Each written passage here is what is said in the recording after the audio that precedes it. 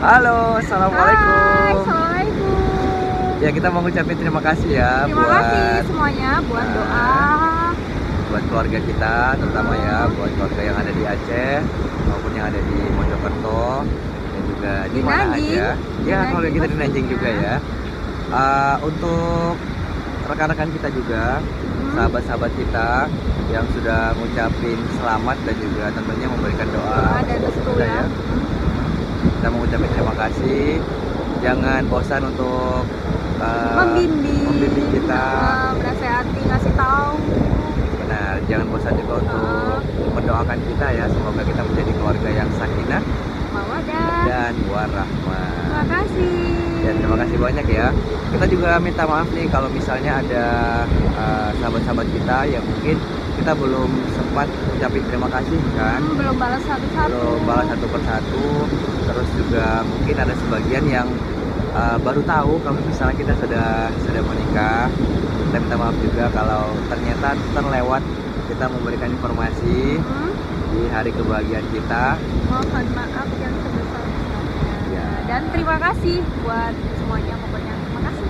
Ya, terima kasih banyak ya.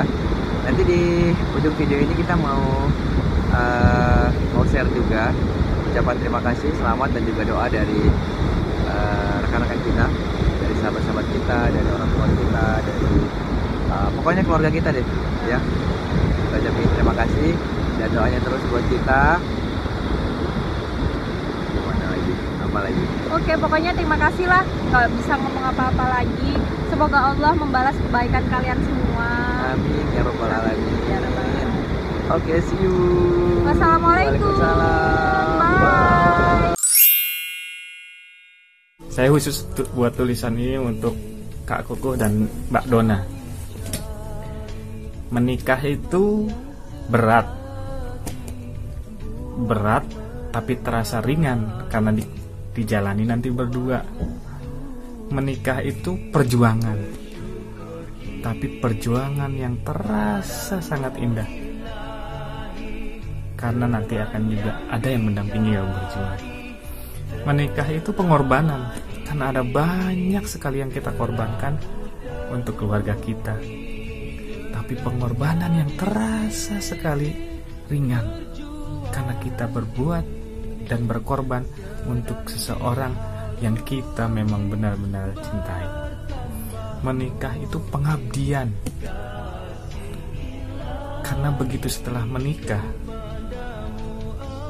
suami mengabdi dengan mencari nafkah untuk istri, istri mengabdi untuk melayani suami. Dari semua itu, luruskan niat untuk beribadah kepada Sang Maha Pencipta. Maka tidak ada yang berat semuanya. Selamat menempuh hidup baru buat Kuku dan. Barokah.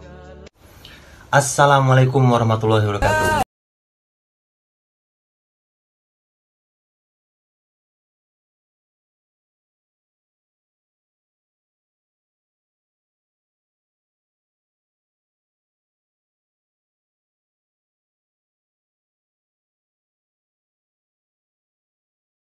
Sudah menikah. Nah, mantap. Barakallahu lakuma wa baraka alaikuma wa jama'a bainakuma fi khair.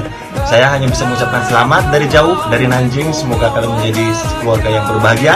Dan saya ucapkan bagi kalian berdua selamat beribadah. Ibadah paling nikmat coy. Wassalamualaikum warahmatullahi wabarakatuh. Mwah.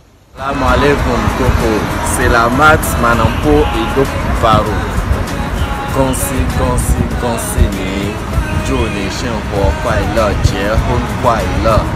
Happy wedding buat Mas Kuku dan Madonna Semoga menjadi keluarga yang sakinah, mawadah, warohma. Selamat menempuh hidup baru untuk Kadona dan Kak Semoga menjadi keluarga yang sakinah, mawadah, warohmah. Assalamualaikum, Cik Kuku, Cik Dona.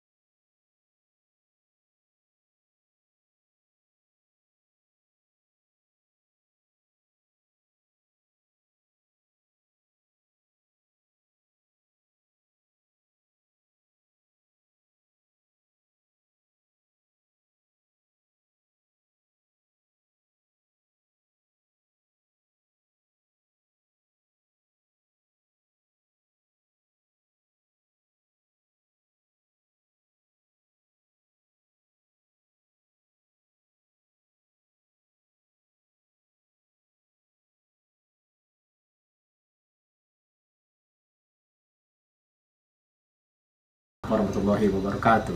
Buat Tante Dona dan Om Koko di Mojokerto. Selamat menempuh hidup, Hidup baru. Salam dari Nagi. Assalamualaikum warahmatullahi wabarakatuh. Sekali lagi selamat untuk Kuku dan Dona.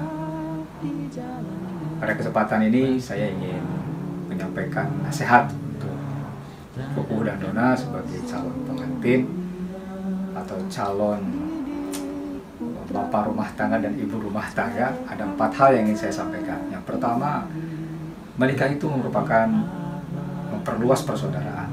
Kenapa? Karena menikah sesungguhnya menggabungkan dua kubu keluarga yang tadinya tidak bersaudara menjadi menjadi bersaudara sehingga di situ akan menjalin perluasan hubungan kekeluargaan dan persaudaraan. Yang kedua, menikah itu sesungguhnya bertujuan untuk membangun ketentraman. Dan ketentraman ini harus disertakan oleh kedua belah pihak. Tidak hanya dari pihak istri saja atau dari pihak suami saja tetapi kedua belah pihak harus membangun ketentraman itu. Diciptakan kemudian dibangun hingga ketentraman ini tidak hanya tentram hidup di dunia juga sampai di akhirat nanti.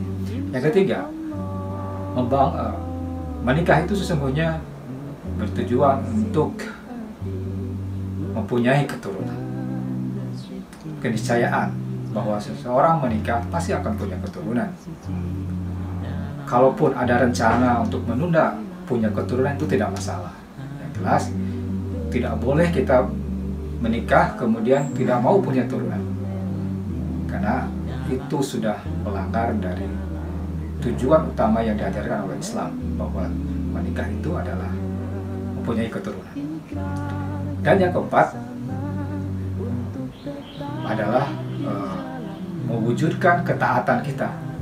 Ketaatan kepada siapa? Tentunya ketaatan kepada Rasulullah dan ketaatan dan ketaatan kepada Allah. Ati Allah wa Rasul. Kalau kita bertaat pada Allah pasti bertaat kepada Rasulnya. Dan sebaliknya kalau kita taat kepada Rasul maka kita taat kepada Allah. Dan menikah merupakan salah satu simbol ketaatan kita kepada Rasul dan kepada Allah Subhanahu wa taala. Insyaallah empat hal itu yang bisa saya sampaikan. Eh, Semoga bermanfaat. Assalamualaikum warahmatullahi wabarakatuh.